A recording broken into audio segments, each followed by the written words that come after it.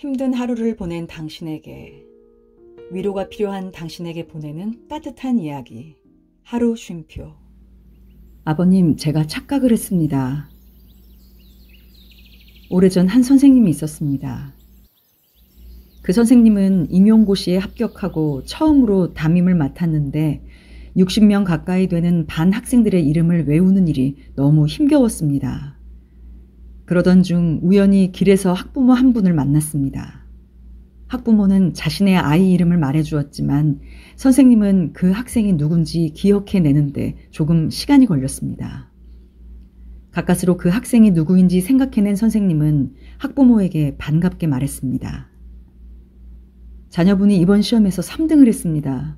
이렇게 열심히만 하면 앞으로 좋은 결실을 볼 거라 기대되는 학생입니다. 다음날 학교에서 학적부와 성적표를 다시 살펴본 선생님은 크게 당황했습니다.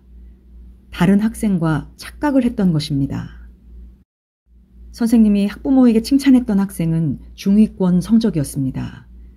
선생님은 참으로 난처했습니다. 시험 성적표를 받아볼 학부모는 크게 실망하고 심지어 화를 낼지도 모를 일이었습니다. 어쩌면 자신의 실수 때문에 죄 없는 학생이 부모로부터 크게 곤욕을 치를지도 모를 일이었습니다. 선생님은 자신의 실수를 바로잡기로 했습니다.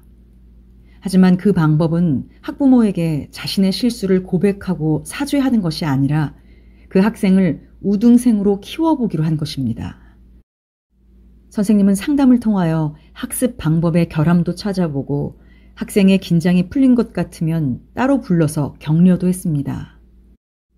그렇게 한 학생의 효과적인 학습 방법을 찾다 보니 자연스럽게 다른 학생들의 학습 지도도 좋아졌고 덕분에 그 선생님의 반 학생들의 성적이 모두 좋아져 많은 학생이 대학으로 진학하게 되었습니다. 그리고 처음 이름을 착각했던 학생도 원하는 대학에 당당히 합격했습니다. 졸업식에 찾아온 그 학부모는 선생님의 손을 잡고 너무도 감사했습니다. 그런 학부모의 행동에 선생님은 속으로 말했습니다. 아버님, 사실은 그때 제가 착각을 했습니다. 거짓말을 한 것처럼 된 저희 실수를 메우기 위해서 노력한 것이지 결코 제가 훌륭해서가 아닙니다. 사람은 누구나 실수를 합니다. 그런데 그 실수를 받아들이는 자세는 사람마다 모두 다릅니다. 어떤 사람은 실수와 실패에 좌절하기도 하고 또 어떤 사람은 그저 변명만 하며 달아나려 합니다. 하지만 어떤 사람은 그 실수와 실패를 기회로 삼아 오히려 더욱 발전합니다. 여러분도 실수를 기회로 만들어 보는 긍정적인 사람이 되어 보세요.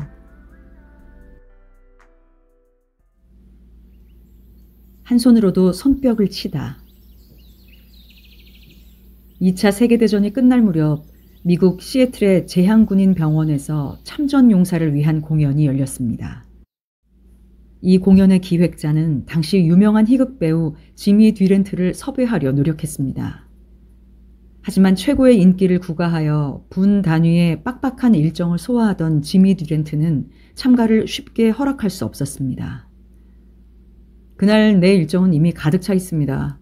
고작 10분 정도밖에 시간을 낼 수 없을 것 같은데 그래도 괜찮겠습니까?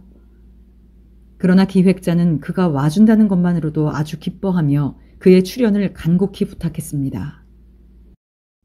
공연 당일 약속을 지킨 지미 듀렌트는 위문 공연의 무대 위에 올랐습니다. 그런데 그는 짤막한 원맨쇼를 끝내고 나서도 무대에서 내려올 생각을 하지 않았습니다. 공연을 즐겁게 관람하는 참전 용사들은 당대 최고 코미디언의 쇼를 1시간 가까이 보면서 환호성을 질렀습니다. 병원장은 지미 듀렌트를 섭외한 의전 장교를 불러 자네는 한 계급 특진일세 하며 어깨를 두드려주기도 했습니다. 그렇게 지미 듀렌트의 쇼가 끝난 후 기획자가 의외라는 듯이 물었습니다. 어찌된 일입니까? 이렇게 길게 공연을 하시다니 선생님의 출연료를 10분 분량밖에 준비하지 못했는데 이렇게 긴 공연의 출연료는 여력이 없습니다. 기획자의 말을 들은 지미 듀렌트는 무대 앞줄에 참전용사 두 사람을 가리켰습니다. 두 사람은 전쟁에서 한쪽 팔을 잃은 사람들이었습니다. 그런데 왼팔이 없는 병사와 오른팔이 없는 병사가 남은 한쪽 손을 부딪히며 아주 즐거운 표정으로 열심히 손뼉을 치고 있었습니다. 저는 저 참전 용사분들로부터 귀한 교훈을 얻었습니다. 두 손이 온전한 사람만이 손뼉을 치는 것이 아니라는 것을 알게 되었습니다. 제가 여기서 받은 오늘의 감동은 몇십 분의 무료 공연보다 비교할 수 없을 만큼 훨씬 더 귀하고 값진 것입니다. 세상에 어떤 사람도 완벽한 사람은 없습니다.